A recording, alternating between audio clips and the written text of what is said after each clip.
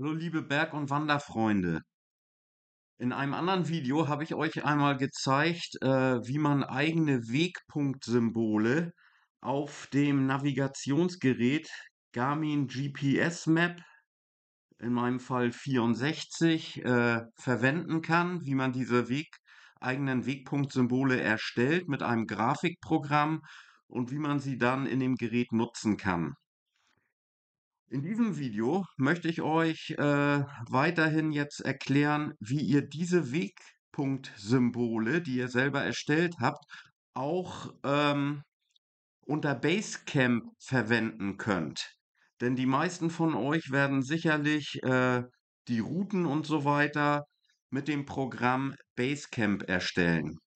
Und dazu ähm, öffne ich erstmal das Programm Basecamp und zeige euch jetzt hier, ähm, wo man diese Wegpunkt, diese eigenen Wegpunktsymbole sieht. Also ich werde dazu einfach mal hier einen neuen Wegpunkt setzen. Den setze ich hier einfach mal irgendwo hin. So, jetzt haben wir hier den Wegpunkt, den klicke ich mal an. Und hier hat man ja das Symbol. Am Anfang ist es hier so ein Fähnchen. Und jetzt öffne ich hier mal das Kontextmenü und jetzt sieht man hier, wenn man ganz nach unten scrollt, hier den Punkt Benutzer definiert. Und hier sieht man alles so blaue Punkte. Hier sieht man eigene Wegpunktsymbole. Jetzt ist allerdings noch kein eigenes Wegpunktsymbol erstellt und man hat nur diese vorgefertigten blauen Punkte an dieser Stelle. So, und nun möchte ich euch mal zeigen, wie wir unsere eigenen erstellten Wegpunktsymbole hier reinbekommt. Dazu schließe ich das erstmal alles wieder und mache auch Basecamp wieder zu. Und jetzt äh, habe ich hier schon vorbereitet zwei Verzeichnisse. Einmal habe ich hier das Verzeichnis, was ihr noch von meinem letzten Video kennt, äh, wo es um dieses Thema ging. Ich habe jetzt hier mein GPS-Map-Gerät wieder an den Computer angeschlossen und bin hier in dem Verzeichnis, wo die selbst erstellten Wegpunktsymbole zu sehen sind. Das waren hier vier Stück, die ich selber erstellt hatte und diese befinden sich hier in diesem Verzeichnis. So, nun muss ich diese Wegpunktsymbole nehmen, indem ich sie alle markiere und einmal kopiere in die Zwischenablage. Ähm, und nun wechsle ich in ein anderes Verzeichnis. Und zwar haben wir ein Verzeichnis hier, das habe ich hier schon ausgewählt. Ich zeige euch mal den Pfad zu diesem Verzeichnis. Hier oben sieht man es, wie man da hinkommt. Unter C Users Mail Documents Mein Garmin und da gibt es das Verzeichnis benutzerdefinierte Wegpunktsymbole. Bei euch kann das anders sein, je nachdem, wo ihr ähm, euer Verzeichnis kopiert habt oder wo ihr das hin installiert habt, euer Garmin-Verzeichnis, kann das leicht abweichen. Ihr müsst nach diesem Verzeichnis suchen. Benutzerdefinierte Wegpunktsymbole. Und dort müsst ihr rein navigieren und dann seht ihr hier nämlich diese blauen Punkte. Das sind genau die Punkte, die man unter Basecamp an der Stelle sieht. So, und in dieses Verzeichnis kopiere ich jetzt die eigen erstellten Wegpunktsymbole. Die habe ich hier jetzt rein kopiert. Die würde man so aber noch nicht zu sehen bekommen, denn diese ähm, eigenen Symbole müssen einen ganz bestimmten Namen bekommen, damit sie dort angezeigt werden. Und zwar sieht man hier schon an diesen vorgefertigten Wegpunktsymbolen, wie die Bezeichnung lauten muss. Also das fängt ja hier an mit 000, 001, 002 und so weiter und so fort. Und äh, da ich diese blauen Punkte an sich auch gar nicht haben möchte, werde ich jetzt einfach hier diesen Punkt 000 zum Beispiel, den werde ich einfach mal ähm, löschen So, habe ich ihn gelöscht. Und da möchte ich mein Symbol für dieses Parken draufsetzen. Das heißt, ich benenne jetzt das Parken hier an der Stelle um und nenne das einfach 000. So. Und nun mache ich das weiter.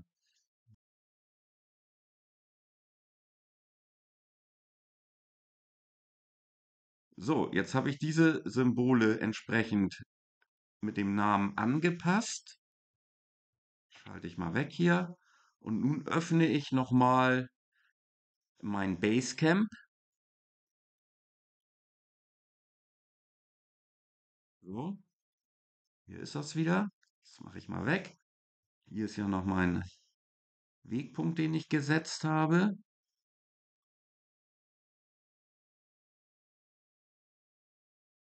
So, und jetzt öffne ich hier das Kontextmenü und siehe da, hier sind meine neuen Wegpunktsymbole zu sehen. Und die stehen mir jetzt hier zur Verfügung, dass ich sie hier entsprechend verwenden kann. Nun werde ich den ersten Punkt hier auch mal entsprechend anpassen. So, man sieht jetzt hier ist das Symbol vorhanden. Und ich werde jetzt auch mal die anderen Symbole nochmal hier entsprechend setzen.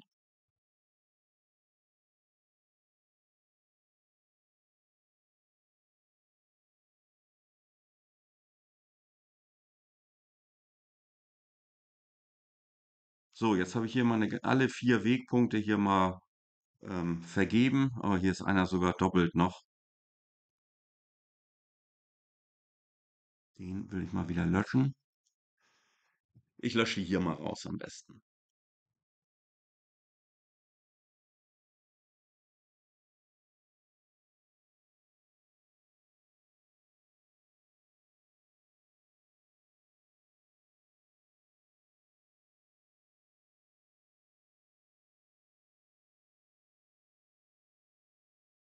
So, jetzt habe ich hier wirklich nur noch die äh, Wegpunkte und nun möchte ich mal eine Route erstellen.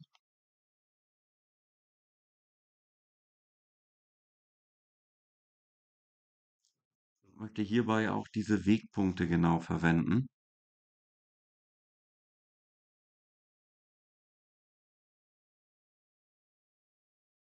So.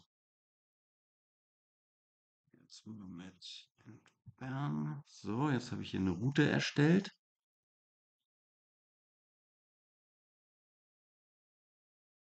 Ich habe hier, das habe ich Test genannt. Dieses Test, das werde ich jetzt mal hier auf mein Navigationsgerät übertragen. Test an Gerät senden. Das packe ich hier mal in die Speicherkarte rein. Okay.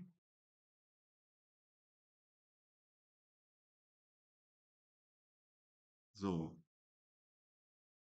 Und jetzt zeige ich euch mal, wie das Ganze jetzt in dem Gerät aussieht. So, hier haben wir das äh, GPS Map 64 ähm, und nun gehe ich hier mal weiter und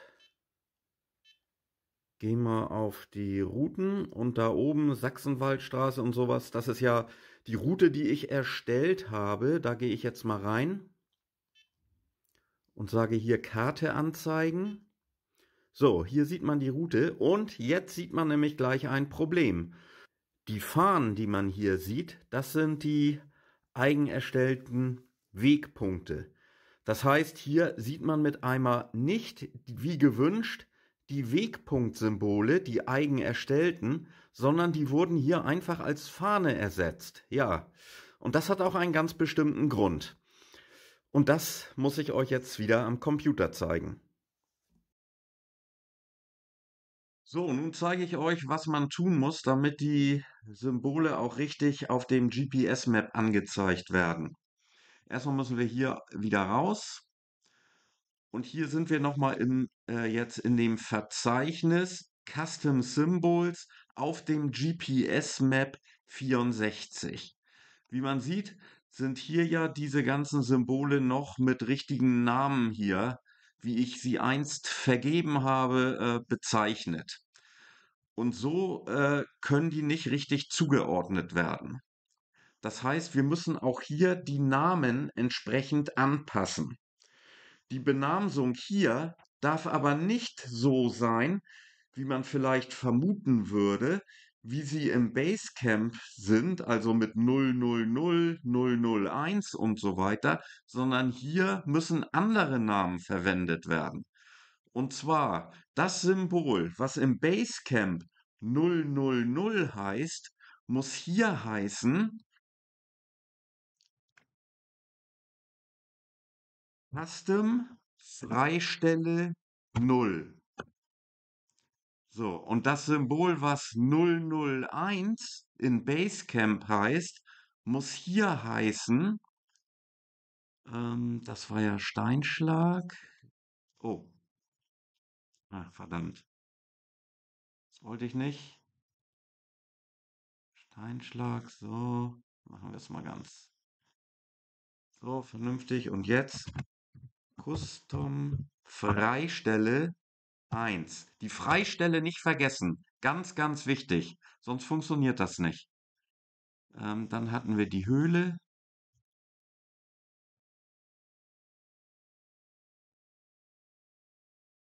So, und zuletzt der Wasserfall.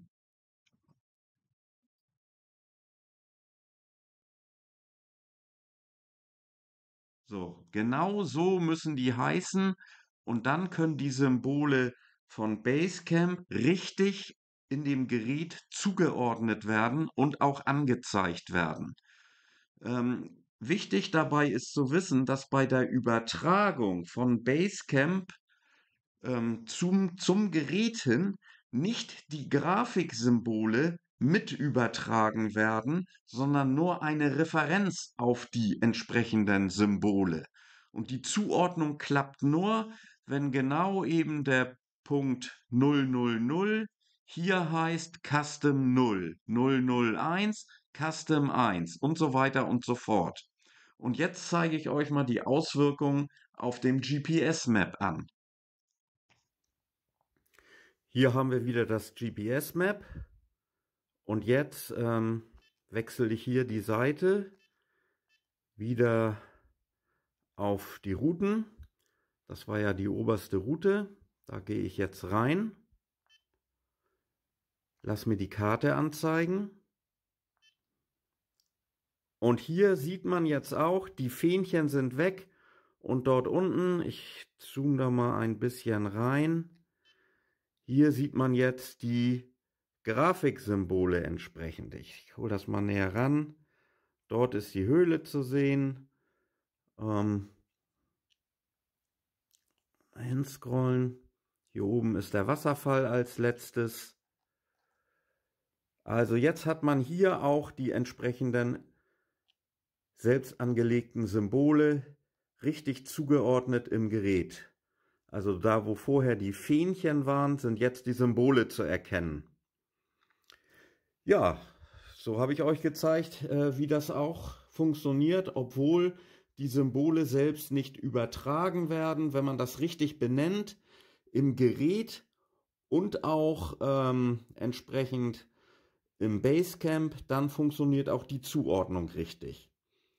Ähm, das Einzige, was man noch wissen muss, ist, dass äh, man bei der Anzahl der möglichen Symbole begrenzt ist.